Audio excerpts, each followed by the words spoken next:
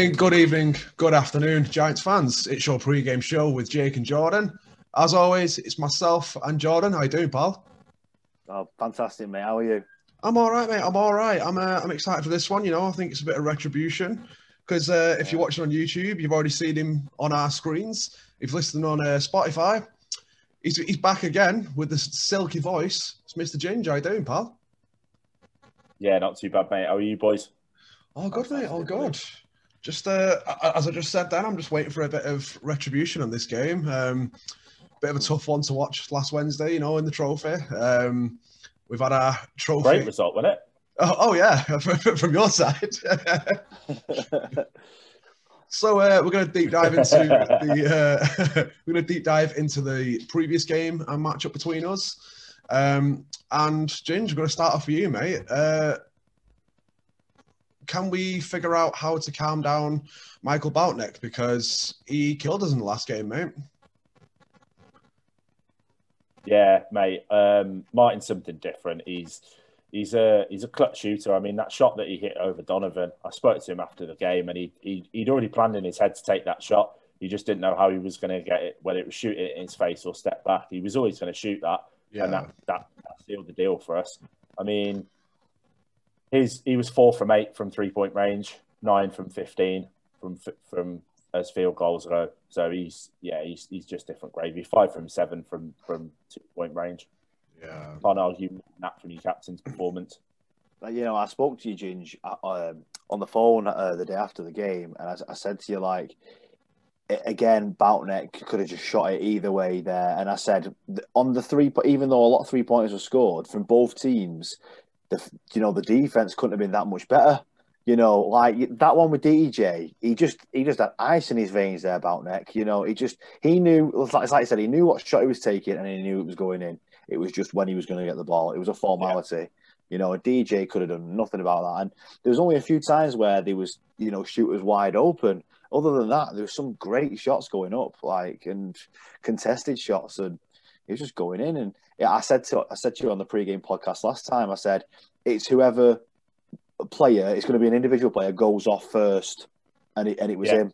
It was him, and it's simple, and that's what won the game. Yeah, him and Brandon Anderson. Let's be honest. Like Brandon yeah. Anderson, 60 percent from two point range and four from seven, so fifty seven percent mm. from three point range. Can't yeah. argue more than that. To be honest, Jordan Williams when he hit that three point shot from the start of the game, I was just like, okay, we'll, we'll be all right. Well, and it was we a great came ta- out, ran the ran the floor and took that um, took an early lead, which I to be honest, um, you talk about Brandon Anderson just before we cut out there. Yeah, so Brandon Anderson, like he's he's a he's a different level of uh, of player at the moment. He's come out and he's the last five games he's really shown why we brought him in. Um, but for me, when Jordan Williams hit that first three point shot, that was that was unbelievable. The first run that we went on, I think we took a 14-2 lead at one point. And to be honest, I sat next to Gary DJs for us, and I was like, blowout. I was like, it's going to happen. And you guys pulled it back. And I mean, looking at the stats from last game, both of us hit 20 points in the first quarter. Both both of us hit 30 points in the second quarter. And then the fourth, third quarter, we hit 28 to your 20, and you guys hit 26 to our 24 in the in the fourth. So it was yeah. tight all the way through, and we predicted it. I just don't think we predicted every single player to go off. Well, uh, yeah. go, going back to that uh, Jordan Williams three to open the game, I actually showed Jordan this clip, um, and we had, we had, we had a bit of a debate on the, the new the new rules on the gather step out of the travel, um, because from the from the angle that Desi Reel's got it at, the pass the drive comes in, he passes it back out to Williams at the top of the key, he just catches it, takes a one two to the right and pops it up, and I went Jordan, right, is this a travel? And he was like, no, because they've obviously changed the rules with um, the gather step and that. It was really frustrating yeah. that that opened the game because it was a phenomenal shot. I, I, was just, I was screaming, travel at everyone, and they were like, no, it's a gather step. I was like, you're, you're lying, he's not bounced it. it. it. also, as well, completely changed Breon Brady's guarding of, of him because yeah. Breon's like was completely off him. He had no because in his eyes he was never going to shoot a free, and he was like as if that's the first shot that's gone past me. You know. yeah, mate, absolutely, absolutely. He's I know, like I said to you before, he's been working on his uh, his shooting um, over the summer, so it's really paying off. I mean, his mid range jumper is pretty solid. um, and now he, he can stretch that that floor for a three point shot. I mean, I don't want him taking them all the time, um, but yeah. because of the work that he does in the post is so good. Yeah. But he's definitely he's definitely opening the floor up, and I think that works particularly against Breon because of his size and he's he's so solid. But when you stretch him a bit, you've got a bit of pace on him, and Jordan's quick off that first step as well for a big guy. Yeah, yeah. yeah I mean, we were just talking off camera before we started this, and just looking at um, on the BBL website, they have the you know the bar chart on the right hand side. Yeah, we've, we spoke about it before. The, the three point the three points to you was 33-24. Uh, sorry, that's three points attempted. Um, to three points made was 16 to nine to, for you guys, but we beat you in the two points attempted and made. So it just really showed having that outside game, which we knew we were going to battle against, absolutely prevailed against us. Yeah, and I mean, we shot eight from 10 from the free throw line, and you guys shot nine from 16. Yeah. So to go to the charity stripe and hit below just over 50%, that would have that would have tied the game up. Yeah, absolutely, absolutely. Yeah. And again with the second chance points, what what was that stat you reeled off at us before with the offensive rebounds? uh, yeah, so you guys hit defensive, sorry, offensive rebounds overall throughout the whole game. You got 16. We got five. 16 offensive yeah. rebounds. Do you know and five five offense five offensive for us is is shocking. Yeah, I mean, there's one thing that really it frustrate. I, I say frustrating. It wasn't frustrating, but I think we could have done with is because uh, we didn't start Sam Cassell, and I think at the moment he's just too vital to not start. You know, um, and I do think him and Hudson yeah. do work well together. They do work well. Um, I just think when when he was starting to say Hudson and um, was it Whelan? Let me just check. Yeah, so he started Whelan. Yeah. That was bringing Whelan into a guard position because I, I, watched Whelan bring the ball up a few times, you know, and it's just taking him out of position. I just think maybe that. I mean, that was my only analogy on the starting lineup. I would have started Sam Cassell, mm. and again, you know, he went he went off what what, what did he get? You know, thirteen points. There wasn't a lot coming off the bench points wise. Zach Power got six. David Ulf got six. Um, obviously, the main. I mean, we had a few people like Owandi ten, Whelan twenty five. Again, went off. You know, DJ sixteen, Brady was it yet sixteen? Do you know what I mean? So there was enough points there, and I said it. I said it on the show after it you know, you can't give 102 points away in a game and expect to get a result. You just can't. Yeah. You know, but, but likewise with that, you know, you don't expect to score 96 points and still get beat as well. You know, so. To be honest, we I spoke to uh, Matt Newby after the game and uh, spoke to a couple of the players, and like from our perspective, to give up 96 points and win a game, that should never happen. Yeah. Agreed. I mean, I think I think what made it worse from our point of view was we had like 50 seconds left. We were down by two, um, and DJ went to the line to get uh, hit, hit two free throws, brought us back within one, and and that's what obviously where we talked about the Boutlex free over DJ, which just knocked the air out of us. Even though we came back with two points to go, that just sh- clearly knocked the air out of us because we had a foul very quickly after that obviously we're at the charity stripe, um, and then that was it. It was just it was it was just free throw central, just trying for us to try and stop the clock to try and get another two or three points on us. Yeah, yeah, absolutely. It's just um, I think it was one of those games, wasn't it? We we sat here and we said before the game. Obviously, I went highest points scored, and you guys went quite a low KG affair that we were all expecting. And to be honest, I when I when I heard what you guys were saying, I, I, I kind of changed my, my my my my mind frame in it. I thought that you guys were going to be right. It was going to be more of a cagey affair. It was going to be a bit more um, challenging in terms of what the defense side. And then literally, I said like as we as we said after, and we had a catch up pretty shortly after the game. It was just everybody went off. Like yeah, yeah. Martin Boutnick, 23, Jordan Williams 17, Anderson 24, Lawson 10. We had Elon come off the bench and hit 11. And then you guys had obviously Whelan 25, Marsh, uh, Marshall Johnson uh, DJ 16, Brady 16, Cassell Jr. 13. Like no one, no one didn't play well. It was yeah. just, it was just that clutch time.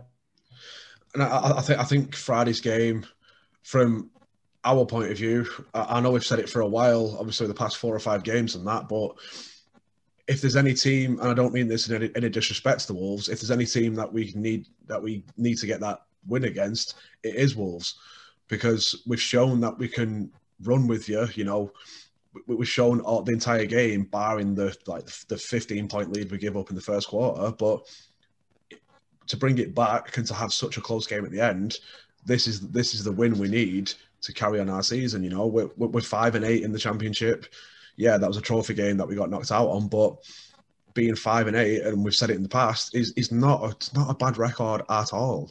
And it's just a it's just a shocking state of affairs when you get five and five losses in a row. You know, if those five losses were spread out across eight to ten games, we wouldn't be here being we wouldn't be here as fans, not necessarily us two, but a lot of fans wouldn't be here going, "Oh, what's going on? Why have we lost five in a row?" You know, if those were spread across the eight the eight games that we mentioned, there'd be a completely different outlook on the team.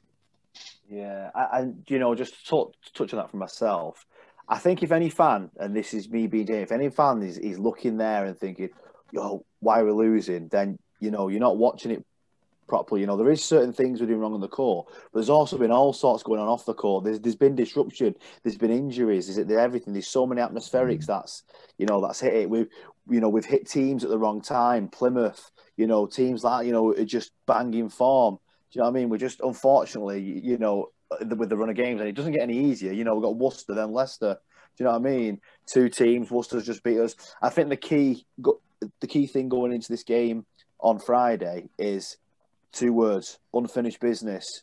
You know we, we left something in that arena on that day for me you know because we know we could have won it. You know it could have gone either way. Any you know we, we've got both spectrums of fans here. We've got we've got ginger we've got us and we both both say that game could have gone either way you yeah. know and there's little there's little bits and bats you know.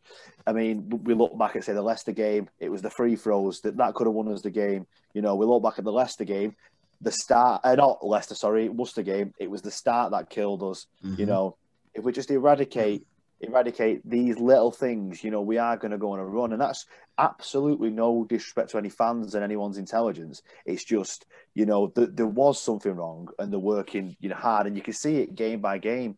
You know, we're pushing teams who's played in Euro League recently, great teams, you know, uh, right to the wire and and it's going to come. And I say it every week, and it will come. And, and you'll find we might even go on another run soon. Do you know what yeah. I mean? Uh, but yeah, I, I, think the key words going into that is there, there, there, was a lot left out on the court for us there, and there, and there is going to be unfinished business kind of thing. I think I think like we said in the past, obviously right now without the fans, and you'll hear this for the entirety of the season. We assume that obviously fans aren't going to be there till the end of the until next season now, but we're going back. We're going back away, and if home court advantage means anything apart from you know knowing the rims, knowing the dead spots as we spoke about in the past, we're going back down to Worcester, and it's like we know it's a tough game down there, and that that mindset of going down to Worcester and being like, okay, we've got unfinished business, we know what we can do, let's go and do it again and show them how to do it on their own court. Um, and then I believe we've got we've got you've got to come up to us in March somewhere around there. Yeah, yeah, March. I think so. Twenty fourth of March, something like that. Yeah, mm. yeah.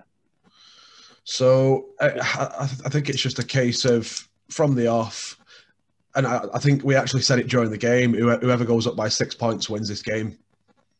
Yeah, it's it's true, man. I mean, we were up. What was it, Ginger? Do we go up by seven or eight at one point? Yeah, seven or eight yeah. at one point. And yeah. and uh, there was a possession where I can't remember who it was, but we got a steal or a rebound or something. It was a stop basically, and we went up the court and we didn't convert. And, and again, I think if that had been converted, you know, I think it'd have been bang on. It's like he said, six or eight points. You know, it, you know, we can't. You know, there's no real atmospherics at play here. You know, there's no.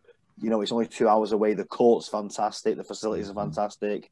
Yeah, you might have Jin shouting at you from the sideline every now and again. Play Michael Jackson whenever he can at you.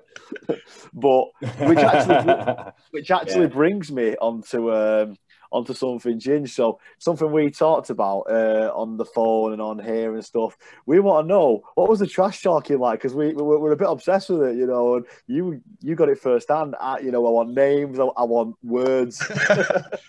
Mate, honestly, like some of some of what was going on like we me and Gary were sat there. We were like, this is like an old-fashioned scrimmage. People Yeah. talking trash, going at each other, properly going at each other as well. Obviously, Donovan, um, Breon, Jordan Williams, Martin. Like Yeah. it was just ridiculous. Like it was absolutely unbelievable. Some of what was uh, what was being said, um, and it, it, do you know what? It made for a great game. And I think the the, the scary thing is, like I, I said to, in the last podcast, obviously about local rivalries and that we've got Bristol, you guys have got Cheshire.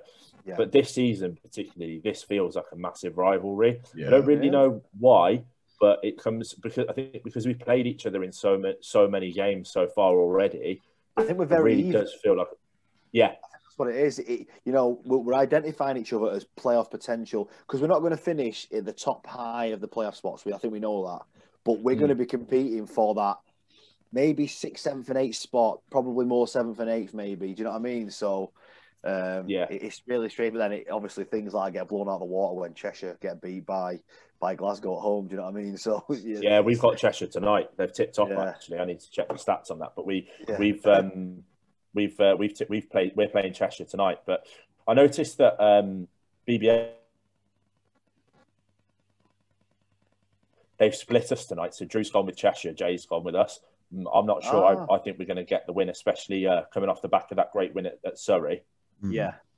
All right. So it should be an interesting one. Yeah. Yeah. Okay, maybe not. We're 23-10 down at the minute, so maybe not. Oh, Oh, Do you know what though? Look, look at the first half that Cheshire had against Glasgow though, and then Yeah, Glasgow that's very true. in in the third. You know, every I, I I find it so fascinating. Every team is so beatable this year. It's mental. Every team can be beaten on the day Oh, by anybody. You Yeah. know, by absolutely anybody. You know, all, all it take, takes is a few little little bits and bats to happen, and games are wide open again. Yeah, absolutely. Yeah. So looks looks to me, looking at the stats from tonight's game, um, KJ is not going to be playing for us against you guys. Um, Okay. He's not on the bench for tonight. I know that there's uh, there's rumours of some some sort of injury, so potentially that's that's knocked him out of this game and maybe Friday's game. Yeah. well, It uh, really does hurt us actually. this is a this is a, a game for player player notice wise that we were talking about. Um, NBA's just come on for Cheshire as we're recording this. Yeah. Yeah, Is- that's going to be an interesting matchup with him and Jordan Williams, eh? Mm, Yeah, and you know, I saw something actually um, uh, with um, NBA um, and uh, Coach Thomas, and and it, NBA was just doing that thing where he was just backing down, and then he was just barely rim grazing it. I, I just think he thinks he can back down the whole world, you know, and and he probably can on his day, you know, but he did it. He must have done it about three possessions in a row, and Tom, you know, Cole, Coach Thomas has took him off rightfully so, and he's he's just slamming around, and I just think. Bloody hell! You know, is, yeah, that, I know. is that is that what you need? Something But- that also concerns me as well, boys, just looking at the stats. No Josh McSwiggan on the bench for us either. oh yeah. The thing is with So injuries, down to s- six like pros. yeah. Well, I mean, with, regarding that, are you guys? Uh, you're away. uh, You're away, aren't you? Yeah. So obviously, yeah, yeah, because you'll Tonight? be there. yeah, yeah, Yeah, you'll be there. yeah, yeah, yeah, like yeah. Yeah, So maybe they're just resting players for yeah. Friday's game, maybe because with the travel and everything, maybe they're just concentrating on the conditions. don't, I aren't d- Mm. yeah, potentially. I mean, I, I would have thought they'd have been at least named on the bench, but maybe Yeah. they're just resting. But that not having Josh McSwiggan and um, KJ in, in the rotation for Friday plays massively into your guys' hands, in my opinion. Yeah. Well, also, um, I'm hoping that it gets announced before I say this on the recording. Uh, we've got a new player on the way, Ginge. Oh, great. um, I believe he la- I believe he landed last night, and he was in training today or last night as well. Both, both. Yeah. And he's a little bit of a worldie, apparently. American. Maybe. Oh, sack him. We've got Shaq. We've got Shaq. Dropping out. G- Gonna, gonna, gonna pull a Dennis Rodman to the Brighton Bears move on us. Oh, no. uh, I, th- I think I think we're announcing it tomorrow. Um, but yeah, that should be. Oh, great! That, that cements our uh, that cements an interest, a very interesting game. Then Yeah, um, I just think um, on on Friday again. I said it last game. Form's going to go out the window again. I just think both teams will chuck the kitchen sink at it again. Um, I just think it's go- it's going to be a big, big game again. You know, great court, shit announcer, um, great. Uh... no, no, no, no. Uh, but yeah, it was just it was just great, and it was actually really funny. You know, just a little insight for the listeners. We was obviously uh, texting Ginge throughout the game, uh, in between. You know, like. Um, quarters and he's like oh this, this is unreal i've just heard dj say this and then like you know like um, but yeah it was just crazy man but i mean i'm i'm confident you know i've spoken to some of the guys you know i'm confident we've trained really well um, i'm confident you know we're going to be tip top as worcester will be you know whether there's injuries or not i'm I, you know i'm confident you know both teams at the end of the day you know we're both professional teams and you know, whatever hardships are going on, again, it just goes out the window for this game. You know, 40 Absolutely. minutes of just, you know, go, going head to head. Um, and yeah, I mean, this kind of brings me nicely onto the, the whole predictions things, Jake, if you're ready for that. I've but, got I've, I've, got my pen in my hand ready to go, mate. Yeah, um, I just, you know, I think personally, I think it's going to be Worcester 84 Okay, pretty high. Okay. Yeah. Yeah. Giants 88. Okay. And I've been thinking because the reason why I wanted to bring it up was so you know what my memory's like. It, will just go straight out my head. okay, so fair gonna, enough. and, and, a couple of stats. Yeah. I'm gonna I'm gonna go double double for um for DJ. Mm. Oh. Uh, yep. Yep. I'm gonna go I'm going to go plus 25 for our Jord. Okay. And I'm going to do doubly doubly Brian Brady. So you basically lifted the stats from the last game and gone with that, yeah? oh, is that what it